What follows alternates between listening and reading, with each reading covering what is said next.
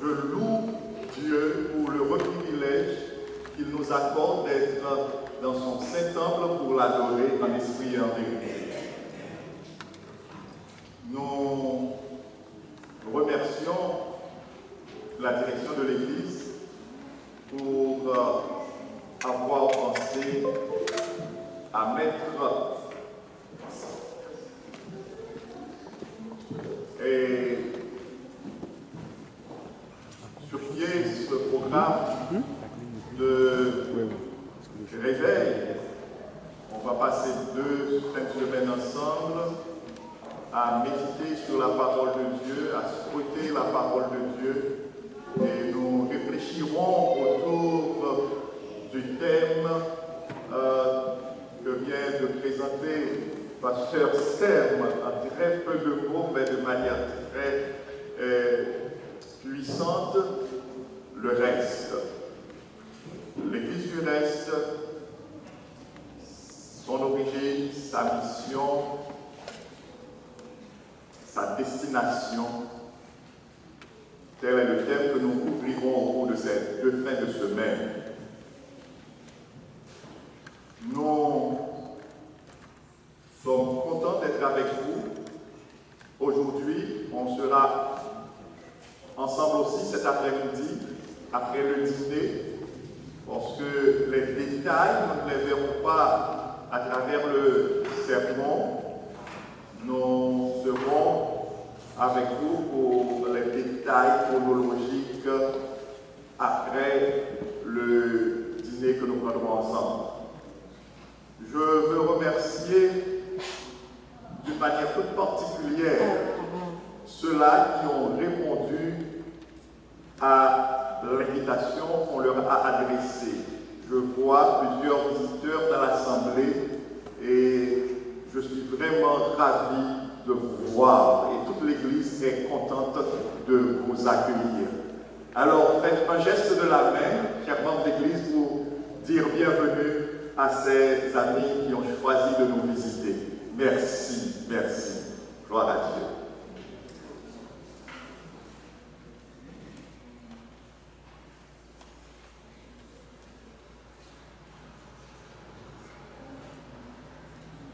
Nous allons ouvrir la parole de Dieu, mais juste avant, disons un mot de prière. Tendre Père des cieux, ta parole qui est aussi sainte que toi va être proclamée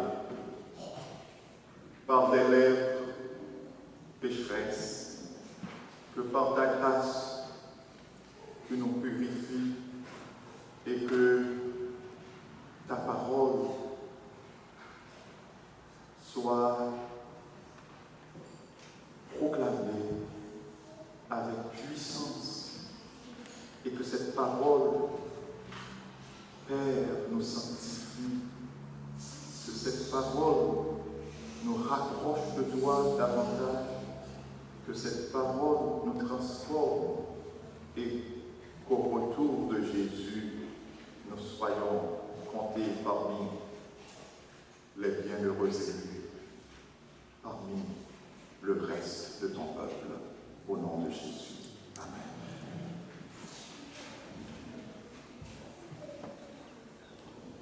C'est une déclaration forte qui nous servira de sujet ce matin. Vous voulez lire avec moi, s'il vous plaît? Oui, l'Église de Jésus-Christ triomphera. C'est une affirmation. Oui, l'Église de Jésus-Christ triomphera. Généralement, quand on parle de triomphe, quand on parle de victoire, qu'est-ce qui est sous-entendu? Il y a guerre, il y a combat, il y a bataille, il y a guerre. Et dans une guerre, il y a des vaincus et il y a des vainqueurs. L'Église de Jésus-Christ est engagée dans une guerre, comme nous l'avons vu hier soir. Cette guerre que nous appelons généralement le grand conflit cosmique. Mais ce qui est certain, c'est que l'Église triomphera. L'Église de Jésus-Christ triomphera. À chaque fois que j'y pense, je suis content, frères et sœurs. Ça me rend heureux de savoir que l'Église de Jésus-Christ triomphera. Et alors, la question qui nous monte immédiatement à l'esprit, c'est pourquoi? Pourquoi sommes-nous aussi certains? Pourquoi sommes-nous si certains de la victoire ou du triomphe même de l'Église de Jésus-Christ? Dans Matthieu 16, verset 18, lisons, et je vous invite à ouvrir votre Bible avec moi, dans Matthieu 16, verset 18. Matthieu 16, verset 18, qu'est-ce que nous lisons? Notre bien-aimée sœur l'a lu pour nous au début. Oui. Qu'est-ce que Jésus a déclaré dans Matthieu 16, verset 18 mhm. Moi,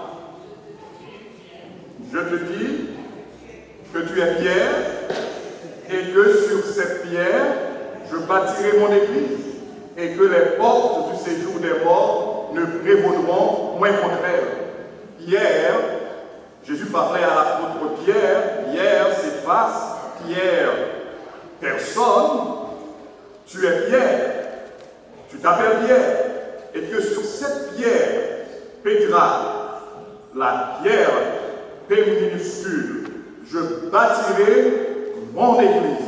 Jésus a dit qu'il bâtirait son église sur une pierre.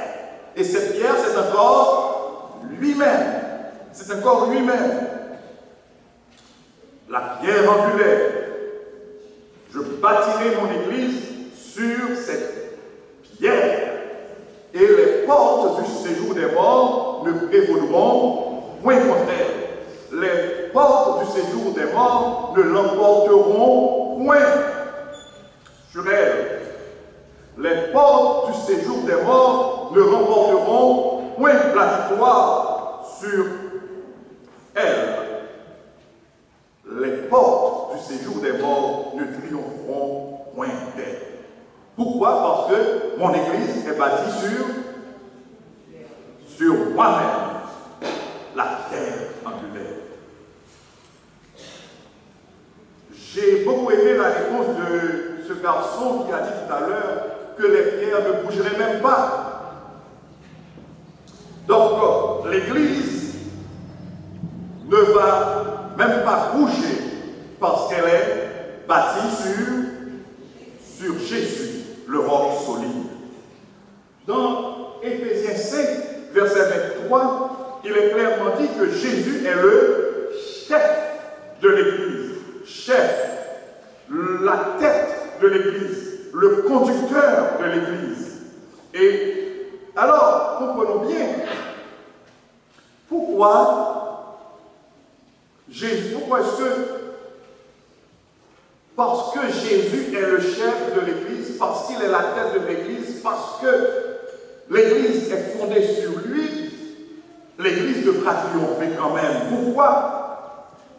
Allons dans Apocalypse, chapitre 1er, le verset 17. Apocalypse 1er, verset 17. Je vous invite à ouvrir votre Bible avec moi dans Apocalypse 1er, verset 17. Nous, lisons 17 et 18. L'apôtre Jean dit, quand je vis, quand je le vis, je tombais à ses pieds comme mort. Il posa sur moi sa main droite en disant, ne crains point, je suis le premier et le dernier et le vivant. J'étais mort et voici je suis vivant au siècle des siècles. Je tiens les clés de la mort et du séjour des morts. Qui est-ce qui tient les clés de la mort et du séjour des morts? Jésus. Vous pouvez comprendre pourquoi il a dit son Église qui est bâtie sur lui-même devra quand même triompher. Parce que les, les portes du séjour des morts ne pourront prévaloir contre cette Église. Pourquoi? Parce que Jésus, lui, il a les, les clés de la mort et du séjour des morts. Donc, ni la mort, ni le séjour des morts, ni le prince de la mort ne peuvent prévaloir contre l'Église de Jésus-Christ. Parce que Jésus, lui, il tient les clés de la mort, il tient les clés du séjour des morts. Donc celui qui tient les clés, il a le contrôle, n'est-ce pas vrai? Quelqu'un qui aurait les clés de, votre maison, qu'est-ce que vous pensez? Cette, cette personne-là peut entrer à n'importe cette personne pourrait entrer à n'importe quel moment chez vous et pourrait faire n'importe quoi. Donc, euh, Jésus, il est celui qui tient les clés de la mort et du séjour des morts. Donc, son Église ne doit, avoir, ne doit point avoir peur de la ne doit avoir point, ne doit avoir peur de la, de la mort, ni du séjour des morts, ni du prince de la ni du prince de la mort. Et dans Apocalypse 17, Apocalypse 17, verset 14, nous lisons, ça c'est au, au sommet là du conflit, verset 14,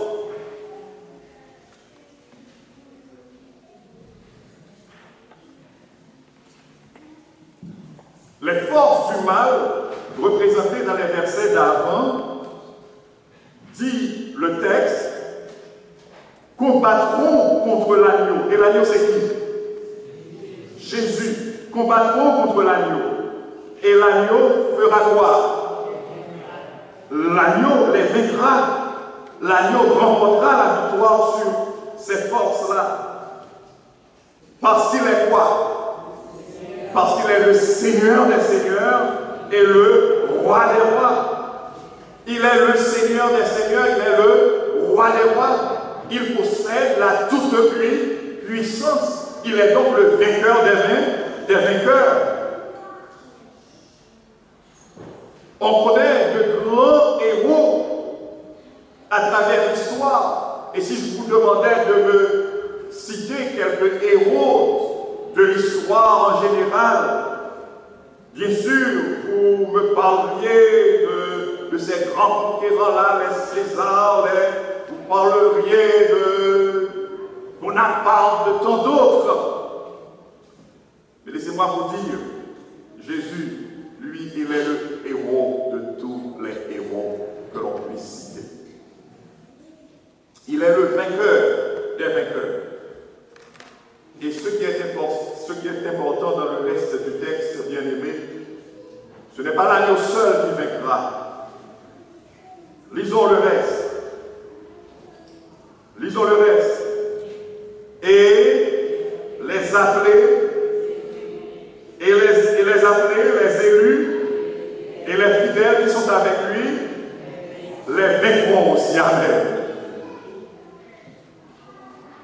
Les appelés, Soulignez ce mot, les appelés, les élus et les fidèles qui sont avec qui Qui sont avec l'agneau, remporteront aussi la victoire. Amen. Amen. Ils remporteront aussi la victoire. Donc, cette victoire, nous en sommes certains. Pourquoi parce que Jésus, le chef de l'Église, Jésus, la tête de l'Église, Jésus, le fondement de l'Église, est le vainqueur des vainqueurs. Le vainqueur des vainqueurs. Nous n'avons rien à craindre, bien-aimés. Les forces du mal ne doivent pas nous ébranler. Pourquoi? Pourquoi? Ah, pourquoi? Parce que Jésus, le chef de l'Église, est le vainqueur des vainqueurs. Il remportera la victoire. Alors, l'Église vient de ce mot grec ecclésia qui se décompose ainsi nous avons la préposition est en deux au dehors, et puis le verbe kaléi, appeler, convoquer. Donc l'Église, si définir l'Église, et l'Église dans le contexte du Nouveau Testament en particulier, c'est l'assemblée de ceux et de celles qui sont appelés hors du monde par le Sauveur et Seigneur Jésus-Christ. Et nous nous rappelons le texte de Pierre, dans 1 Pierre 2, verset 9, vous êtes une race élue, un sacerdoce royal, une nation un peuple acquis. Donc nous sommes une nation mise à part pour Dieu. Les membres de l'Église, dans le Nouveau Testament, s'appelaient les saints. Au premier siècle, on appelait les membres de l'Église les saints, agioi, les saints. Nous pouvons le vérifier, par exemple, tournez les pages de votre Bible avec moi dans 2 Corinthiens 1er, verset 1er. 2 Corinthiens 1er, verset 1er. Nous allons prendre deux ou trois versets pour nous en convaincre. Paul, apôtre de Jésus-Christ, par la volonté de Dieu, et le frère Timothée à l'église de Dieu qui est à Corinthe, et à, je ne vous entends pas bien, et à tous les saints qui sont dans, la, dans toute la caille. Ici, Paul s'adressait à qui quand il a dit eh, à tous les saints? Pardon? Aux membres d'église qui étaient dans cette contrée-là. Les saints. Allons voir dans Éphésiens, par exemple, premier verset premier. Éphésiens 1er, verset 1er. Paul, apôtre de Jésus-Christ, par la volonté de Dieu, aux saints qui sont à Éphèse et aux fidèles en Jésus-Christ. Et prenons un autre texte, Philippiens 1er, verset 1er. Alors nous nous arrêterons là juste pour ne pas trop fatiguer. Mais je sais que vous aimez feuilleter votre Bible, je sais que vous aimez prier dans votre Là. Ta parole est une lampe à mes pieds, une lumière sur mon sentier. Vous sondez les Écritures parce que vous pensez avoir elles la vie éternelle. Et ce sont elles qui rendent témoignage de moi, dit Jésus, Jean 5, verset 39. Je sais que vous, que vous aimez sonder les Écritures. Mais le temps nous empêchera d'aller plus loin, de voir beaucoup plus de versets. Mais je vous invite à faire l'exercice à la maison. Vous allez voir que généralement, l'apôtre Paul, quand il s'adressait aux chrétiens là, il s'adressait généralement aux saints. Philippiens 1er verset 1er, Paul et Timothée, serviteurs de Jésus-Christ, à tous les saints en Jésus-Christ qui sont à aux évêques et aux diacres. Les saints. Donc si on vous demande comment, comment on appelait les chrétiens, les disciples de Jésus-Christ au premier siècle, c'est-à-dire au temps de l'Église primitive, comment, quelle, réponse allez-vous donner, bien-aimés Les saints, saints. C'est ici qu'on nous appelait, qu'on appelait les disciples de Jésus-Christ, les saints. Et remarquez bien, c'est très important de retenir cette appellation. Les saints. Saints,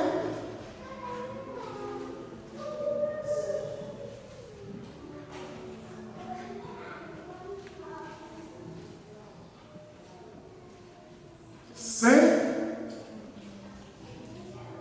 signifie mettre à part. Donc les saints, alors saint signifie, alors le saint c'est celui qui est mis à part. Donc les saints, ce sont les gens consacrés, mis à part pour Dieu par Jésus-Christ. Amen. Et nous venons de lire ces textes-là. Donc, ces saints-là, ils avaient des caractéristiques. N'importe qui pourrait se se dire, ah moi je suis parmi ces saints, je suis l'un de ces saints. Et à remarquer, quand nous parlons de saints ici, nous ne parlons pas de ces statues que l'on retrouve dans certains temps. Non plus, on ne parle pas de saints comme certaines personnes euh, comprennent qu'il s'agit de gens parfaits, mais il s'agit de gens mis à, part pour Dieu, par Jésus-Christ. Et quand on est mis à part pour Dieu, là, il va y avoir aussi euh, toute une suite. Il va, y avoir, va y avoir un style de vie qui marchera avec et cette consécration. Alors, les saints ont aussi leurs caractéristiques. Dans Apocalypse 14, verset 12, Apocalypse 14, verset 12, nous trouvons les caractéristiques des saints. Apocalypse, vous vous rappelez, c'est qui est-ce qu'il a écrit encore? C'est Jean. C'est Jean que Dieu a utilisé par son Saint-Esprit. C'est Jean que Dieu a utilisé par son Saint-Esprit pour écrire le livre Apocalypse. Jean fut le dernier survivant parmi les apôtres de Jésus-Christ. Vous vous le rappelez bien. Dans Apocalypse 14, verset 12, nous lisons, c'est ici la persévérance des saints qui gardent les commandements de Dieu et la foi de Jésus. C'est ici la persévérance des saints qui gardent les commandements de Dieu et la foi de Jésus.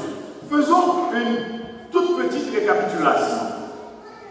Les disciples de Jésus-Christ au premier siècle s'appelaient comment? Les saints. Et quelles sont les caractéristiques de ces saints? Ils persévèrent dans l'observation des commandements de Dieu et la foi de Jésus. Ok.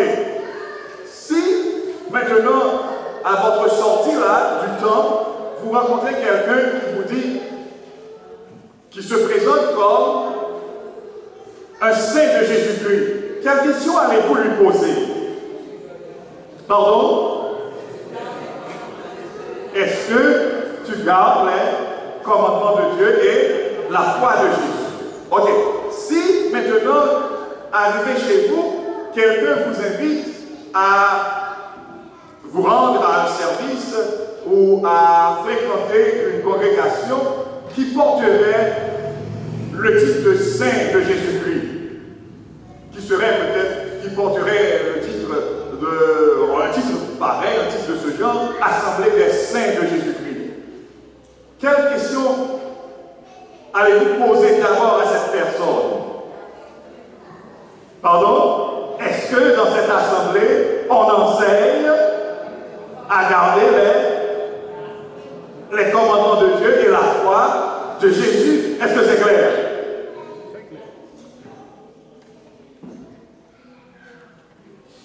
Dieu, notre Dieu, est un Dieu d'amour. Dieu ne tend pas de piège à ses enfants. La vérité de la parole de Dieu est claire. Les saints et les caractéristiques des saints. On appelait les chrétiens les saints, ça c'est clair, mais comment reconnaître les saints aujourd'hui? C'est encore facile. Remarquez bien, jusqu'à la mort de Jean, les saints avaient ces caractéristiques. Est-ce que vous êtes avec moi, bien aimé Ça, c'est. Nous sommes à la fin du premier siècle.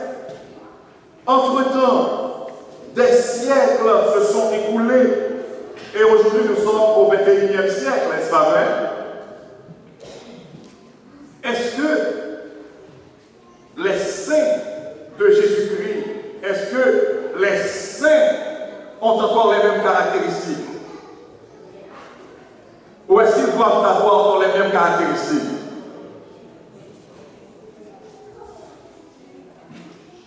Vous hésitez. Est-ce que les saints encore aujourd'hui doivent avoir les mêmes caractéristiques? Oui, Amen. Amen. Mais il y en a parmi vous qui vont me poser cette question. Ils vont me dire, mais frère, pourquoi Pourquoi y a-t-il toutes ces dénominations et qui ne parlent pas de ce texte ou qui ne se réfèrent pas à ces caractéristiques des saints? Pourquoi? Pourquoi?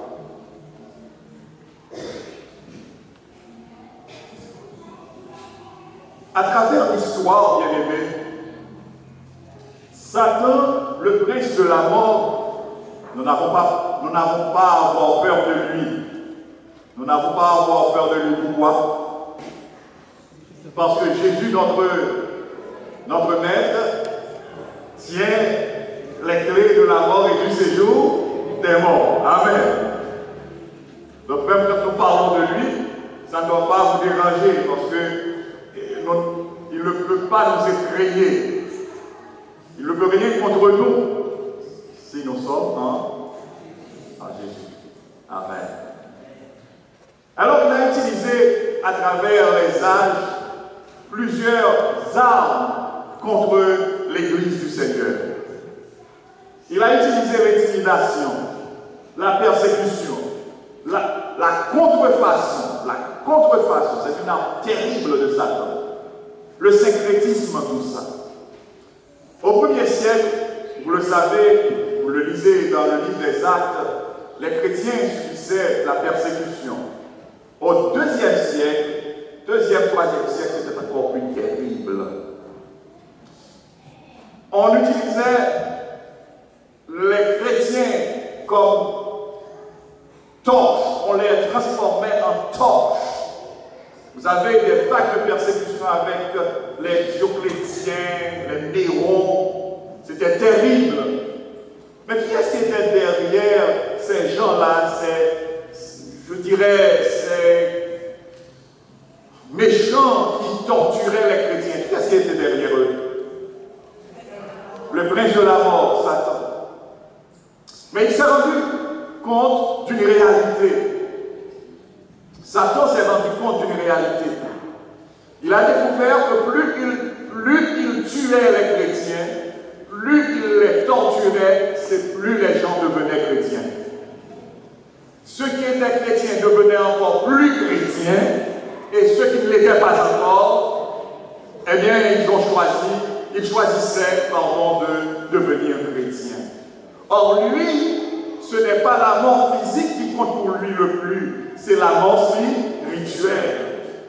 Vous êtes là Donc, il a compris que cette méthode n'était pas vraiment payante pour lui, n'était pas bénéfique pour lui. Et qu'est-ce qu'il a fait Il a changé de, stratégie, il a changé de, de méthode, il a changé de stratégie. Maintenant, au lieu de persécuter les chrétiens, qu'est-ce qu'il a fait? Il a pris le manteau des chrétiens. Il a pris un manteau chrétien. C'est ici qu'au IVe siècle, il a utilisé Constantin. Alors, Constantin, un empereur romain, c'était aussi chrétien, et il est entré à l'église avec ses armées et aussi avec euh, son paganisme. C'est si vrai que l'histoire rapporte que la statue Saint-Pierre que nous avons aujourd'hui à Rome est la statue de Jupiter. Alors, les faux dieux païens ont été recouverts de manteaux chrétiens. Le jour d'adoration de Dieu a été changé au jour de l'adoration du soleil. Et bien d'autres choses, bien d'autres phénomènes se sont produits. Et alors, l'Église n'était plus persécutée. L'Église était de préférence flattée. Mais spirituellement, oui, détruite. Pas peut pas être détruite. Elle ne peut être détruite. Elle ne peut pas être détruite parce que Jésus l'a dit. L'Église est bâtie sur le roc solide et les portes de l'enfer ne peuvent point prévaloir contre elle. L'Église a connu des moments difficiles et quand nous lisons dans l'Apocalypse 12, l'Église va s'enfuir dans le désert. Et pendant toute la période moyenâgeuse, on va avoir l'impression que la vérité n'existait plus. On va avoir la période de la réforme au XVIe siècle. Et la réforme aussi n'atteindra pas l'objectif de Dieu. Et on va connaître le grand réveil du XIXe siècle. Et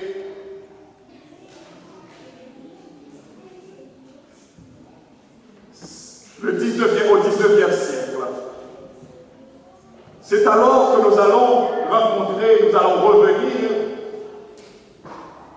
à notre prophétie des 2300 jours dans Daniel 8, verset 14.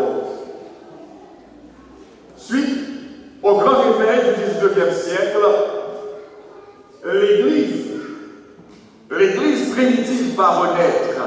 J'ose le dire ainsi, l'Église primitive va renaître. Et elle va renaître à une heure très spéciale. Ce sera l'heure du début du jugement de Dieu. Dieu va faire renaître son Église dans un but bien déterminé. Dieu va faire renaître son Église pour accomplir une mission très spéciale. Cette mission que nous rencontrons dans Apocalypse 14, versets 6 à 13. L'Église va reprendre vie. Quand je dis vie, elle va reparaître. Permettez-moi de le dire mieux ainsi. Elle était toujours là, mais dans le désert.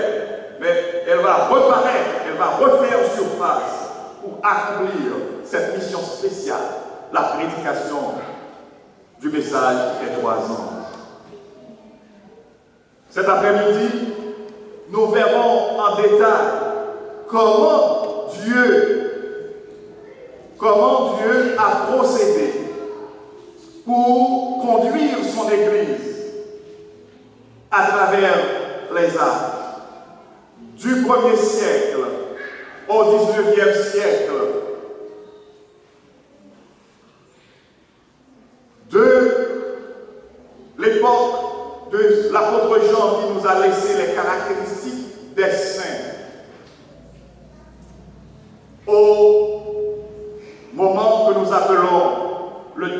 le début du jugement de Dieu. Nous allons voir cet après-midi en détail comment Dieu, lui, il a procédé pour conduire son peuple, conduire son Église, jusqu'à donc aujourd'hui.